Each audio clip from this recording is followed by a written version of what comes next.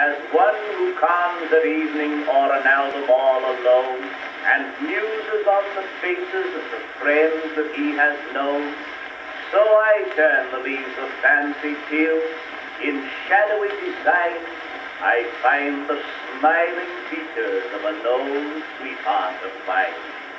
The lamplight seems to glimmer with a flicker of surprise as I turn it low to rest me of the dazzle in my eyes and light my pipe in silence. Save a sigh that seems to yoke its fate with my tobacco and to vanish into smoke. Tis a fragrant retrospection, for the loving thoughts that start into being are like perfume from the blossoms of the heart. And to dream the old dreams over is a luxury divine when my truest fancy wanders with that old sweetheart of mine.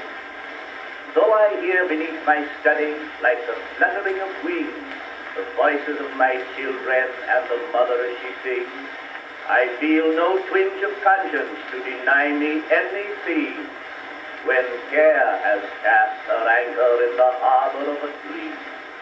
In fact, to speak in earnest, I believe it adds a charm to spice the good a trifle with a little dust of harm.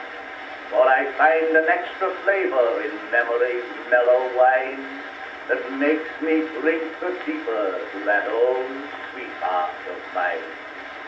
A face of lily beauty with a form of airy grace floats out of my tobacco as the genii from the base.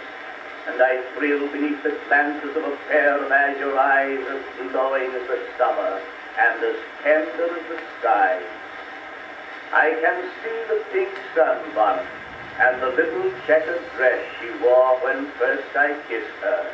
And she answered the caress with the written declaration that, as surely as the vine grew round the stump, she loved me, that old sweetheart of mine. And again I feel the pressure of her slender little hand as we used to talk together of the future we had planned, when I should be a poet and with nothing else to do but write the tender verses that she sets the music to.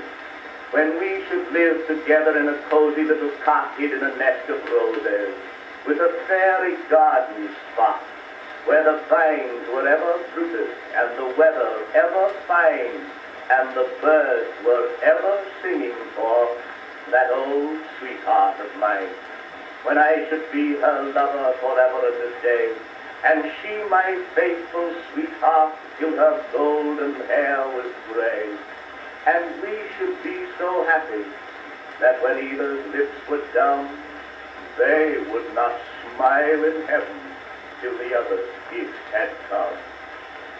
But ah, my dream is broken by a step upon the stair, and the door is softly opened, and my wife is standing there.